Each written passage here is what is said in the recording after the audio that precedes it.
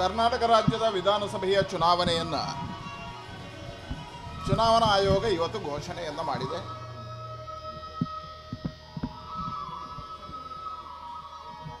April ಹದಿಮೂರಕ್ಕೆ notification ಮುಖಾಂತರವಾಗಿ. ಪ್ರಾರಂಭ ಆಗುವ ಚುನಾವಣೆ, ಹತ್ತನೇ ತಾರೀಕು ಚುನಾವಣೆ, ಒಂದೇ ಹಂತದಲ್ಲಿ ಘೋಷಣೆಯನ್ನು ಮಾಡಿದೆ. ನಾನು ಇದನ್ನು ಸ್ವಾಗತ ಮಾಡ್ತೇನೆ. ಭಾರತೀಯ ಜನತಾ ಪಾರ್ಟಿ ಇದನ್ನು ಸ್ವಾಗತ ಮಾಡ್ತದೆ. ಇವತ್ತು ಚುನಾವಣೆಗೆ ಪೂರ್ವ ತಯಾರಿಯನ್ನು ಪಾರ್ಟಿ ಮಾಡಿಕೊಂಡಿದೆ. ಈಗಾಗಲೇ ನಮ್ಮದು ಸಾರ್ವಜನಿಕ ಸಭೆಗಳು, ಯಾತ್ರೆಗಳು, ಮನೆ ಮನೆಗಳ ಭೇಟಿ ಬೂತ್ ಅಭಿಯಾನ, ವಿಜಯ ಸಂಕಲ್ಪ ಅಭಿಯಾನ,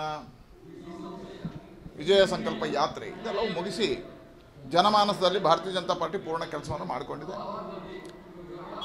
ಇನ್ನು ಕಾರ್ಯಕರ್ತರ ಮುಖಾಂತರ ಅಭಿಪ್ರಾಯ ಸಂಗ್ರಹದ ಮುಖೇನವಾಗಿ ಕ ನಮ್ಮ ಅಭ್ಯರ್ಥಿಗಳ ಆಯ್ಕೆ ಪ್ರಕ್ರಿಯೆಯನ್ನು ಪ್ರಾರಂಭ ಮಾಡ್ತೇವೆ ಈ ತಿಂಗಳಲ್ಲಿ.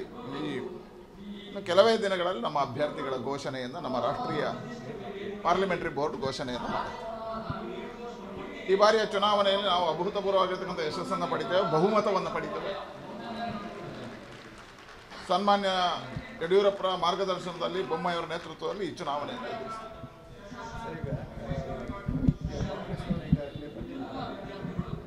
ಈಗ ನೋಡಿ ನಮ್ಮ ಪಾರ್ಟಿಯ ನೀತಿ ಇದೆ. ಇಡೀ ದೇಶದಲ್ಲಿ ಯಾವಾಗ ಚುನಾವಣೆ ಘೋಷಣೆ ಆಗುತ್ತೋ ಘೋಷಣೆ ಆದಮೇಲೆ ನಮ್ಮ ಪಟ್ಟಿಗಳ ಬಿಡುಗಡೆ ಅದೇ ಪ್ರಕ್ರಿಯೆಯಲ್ಲಿ ಆಗ್ತಾ ಇದೆ. ಏನು ಗಡಿಬಿಡಿ ಇಲ್ಲ ನಮಗೆ.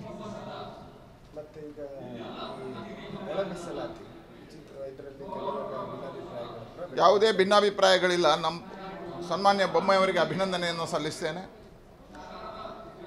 ನಾಗ ನಾಗಮೋಹನ್ ದಾಸ್ ವರದಿಯ ಆಧಾರದಲ್ಲಿ ಅದಕ್ಕೆ ಸಮಿತಿಯನ್ನು ರಚನೆ ಮಾಡಿ, ಸಮಿತಿಯ ವರದಿ ಅಂತಂದು ಕಾನೂನು ಪಂಡಿತರಲ್ಲಿ, ತಜ್ಞರಲ್ಲಿ ವಿಚಾರಣೆಯನ್ನು ಮಾಡಿಕೊಂಡು ಇದನ್ನು ಘೋಷಣೆ ಮಾಡಿದೆ. ಎಲ್ಲ ಸಮುದಾಯಗಳಿಗೂ ನ್ಯಾಯ ಕೊಡತಕ್ಕಂಥ ಕೆಲಸವನ್ನು ಮಾಡಿದ್ದಾರೆ. ಮುಸ್ಲಿಂ ಮತದ ಆಧಾರದಲ್ಲಿ ಎಲ್ಲೂ ಇರಲಿಲ್ಲ ದೇಶದಲ್ಲಿ. ಇಲ್ಲದೇ ಇರತಕ್ಕಂಥದ್ದು ಕರ್ನಾಟಕದಲ್ಲಿ ಮಾಡಿತ್ತು ಅದನ್ನು ಎರಡು ಶೇಕಡ ತೆಗೆದಿದ್ದೇವೆ. ಒಕ್ಕಲಿಗ ಲಿಂಗಾಯತರಿಗೆ ಕೊಟ್ಟಿದ್ದೇವೆ.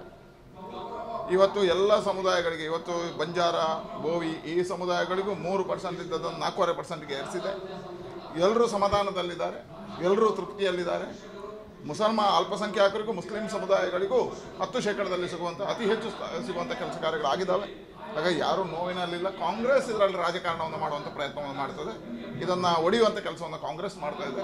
ಆದರೆ ಜನ ಇದನ್ನು ತಿಳ್ಕೊಂಡಿದ್ದಾರೆ. ಯಾವುದೇ ಸಮಸ್ಯೆಗಳು ಆಗೋದಿಲ್ಲ ಪಾರ್ಲಿಮೆಂಟ್ರಿ ಬೋರ್ಡ್ ಕೂತು ಯೋಚನೆಯನ್ನು ಮಾಡಿ ತೀರ್ಮಾನಗಳನ್ನು ತಗೊಳ್ತದೆ. ಯಾವ್ಯಾವ ಅಂಶದಲ್ಲಿ ಮಾಡಬೇಕು ಅಂತ. ಈಗ ಯಾವ ತೀರ್ಮಾನಗಳಾಗಲಿಲ್ಲ. ಈಗ ನಾವು ಪೂರ್ಣವಾಗಿರ್ತಕ್ಕಂಥ ಚುನಾವಣೆಯ ತಯಾರಿಯಲ್ಲಿ ಇದ್ದೇವೆ. ಈಗ ಚುನಾವಣೆ ಮುಂದೆ ರಣತಂತ್ರಗಳು ಹೇಗೆ? ನೋಡಿ. ನೋಡಿ ಪ್ರಧಾನಮಂತ್ರಿಗಳು ನಮ್ಮ ರಾಷ್ಟ್ರೀಯ ಗೃಹ ಸಚಿವರು ಬೇರೆ ಬೇರೆ ರಾಜ್ಯದ ಮುಖ್ಯಮಂತ್ರಿಗಳು ನಮ್ಮ ರಾಷ್ಟ್ರೀಯ ಅಧ್ಯಕ್ಷರು ನಮ್ಮ ರಾಷ್ಟ್ರೀಯ ಮಂತ್ರಿಮಂಡಲದ ಎಲ್ಲ ಸಚಿವರುಗಳು, ರಾಷ್ಟ್ರೀಯ ನಾಯಕರು ಎಲ್ಲರೂ ಬರ್ತಾರೆ.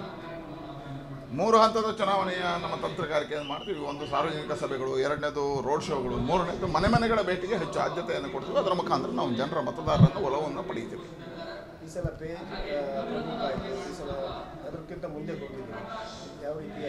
ನೋಡಿ ಇದೊಂದು ಯಶಸ್ಸನ್ನು ಪಡೆದಿದೆ. ಪೇಜ್ ಪ್ರಮುಖರನ್ನು ಮಾಡಿರೋ ಕಾರಣಕ್ಕೋಸ್ಕರ ಮೊನ್ನೆ ವಿಜಯ ಸಂಕಲ್ಪ ಯಾತ್ರೆ ಬಹಳ ಅದ್ಭುತವಾಗಿರ್ತಕ್ಕಂಥ ಯಾತ್ರೆಯಾಗಿ ಪರಿವರ್ತನೆ ಆಗಿದೆ. ದಾವಣಗೆರೆಯಲ್ಲೇ ನೀವು ಕಂಡಿದ್ದೀರಿ ನಮ್ಮ ಸಮಾರೋಪ ಅದ್ಭುತವಾಗಿ ಆಗಿದೆ.